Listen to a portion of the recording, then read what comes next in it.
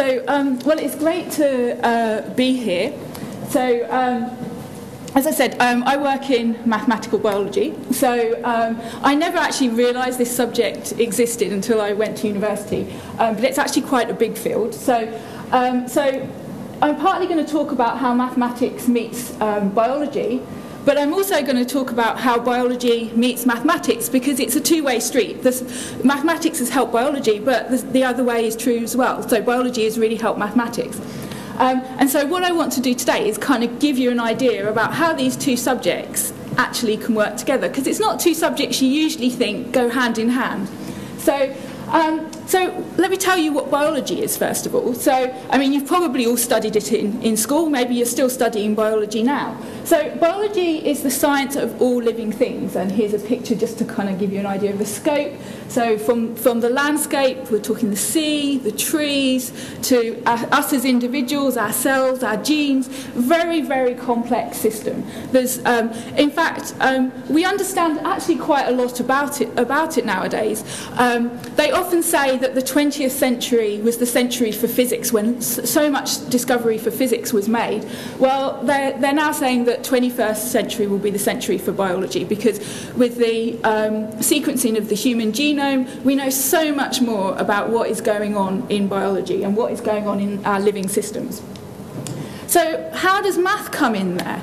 Well, Tom Stoppard, who's a, a playwright, he um, uh, made a, a quote in one of his plays, Arcadia, and he said, if there's an equation for a curve like a bell, there must be an equation for one like a bluebell.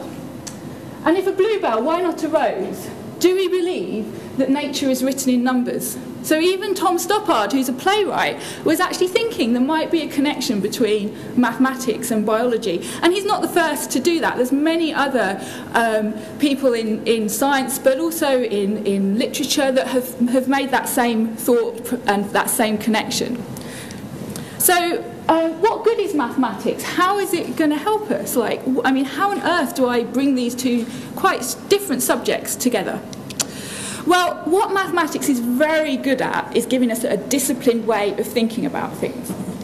So we can think about numbers, we can think about shapes, and we can think about patterns. Mathematics is very good at doing all of these things, and we can think about all of these things not just in time, but also in space.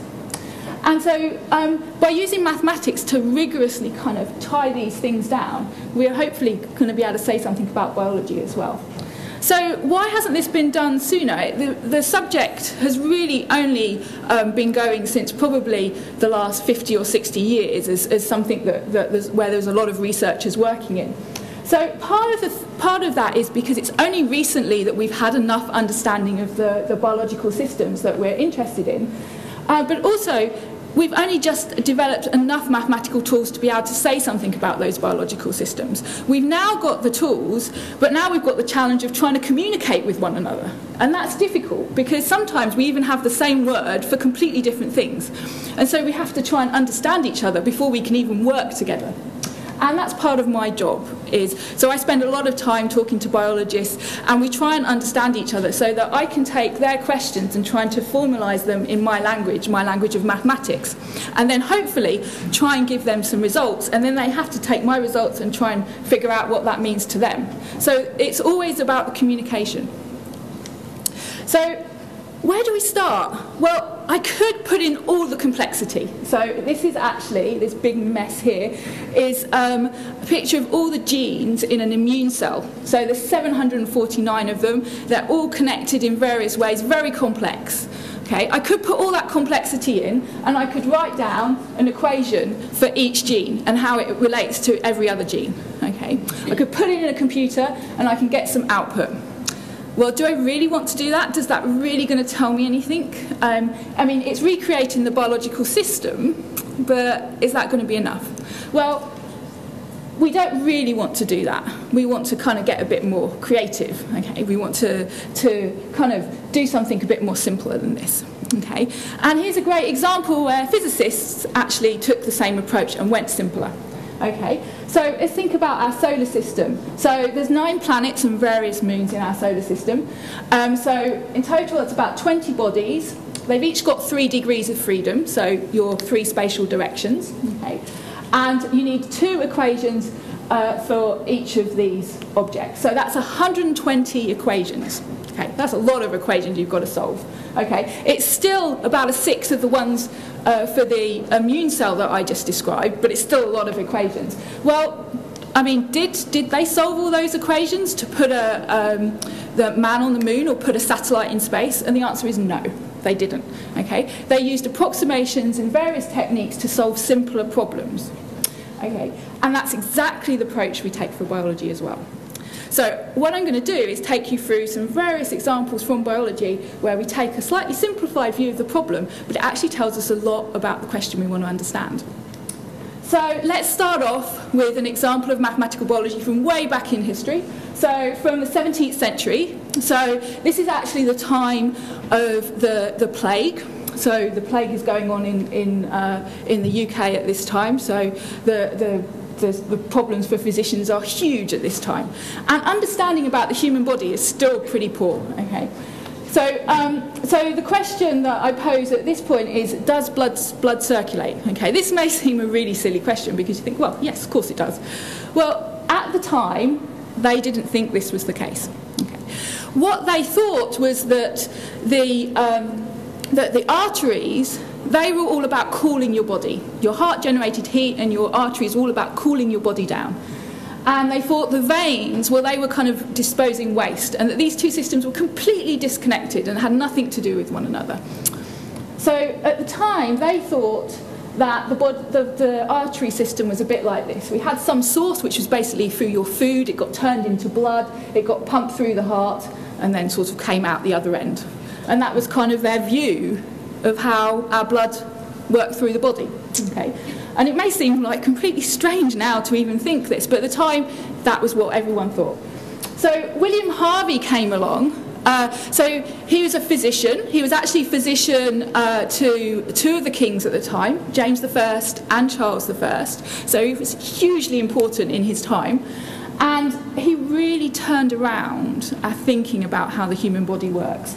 And um, in his book that he wrote um, about the circulation the motion of the heart and the, and the blood, he proposed that in fact this idea was wrong and that in fact the blood circulated around the body. So it came in the heart pumped it back out and it went through the body. And that these two systems of artery and veins were actually connected okay. this was i mean this was really controversial at the time i mean everyone thought this and was like how can this be true and the way he went about showing that this one just couldn't be possible was he used a bit of mathematics.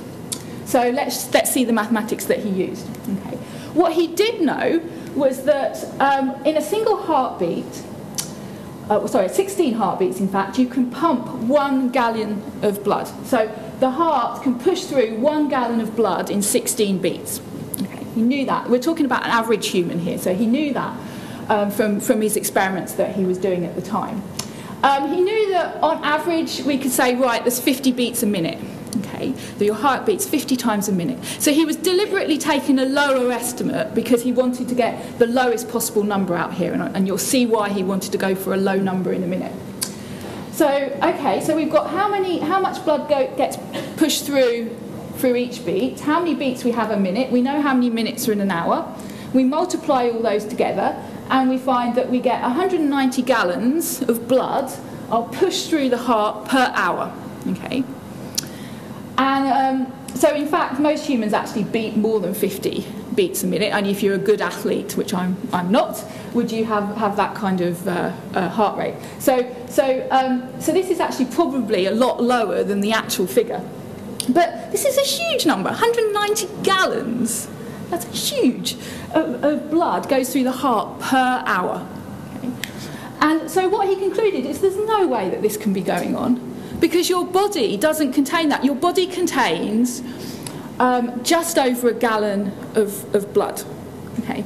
So if this much, if 190 gallons was going through you in an hour and ending up somewhere, where is it going? It just wasn't, it just, it just wasn't possible. So he ruled out this idea. So just some very simple mathematics actually gave Harvey the conclusion that blood must circulate. And he then did a bunch of experiments to, to actually show this was indeed what was happening. Um, so this is just a very simple example of math. So let's keep on working with this idea. Just with simple, simple, simple math and see where we can go.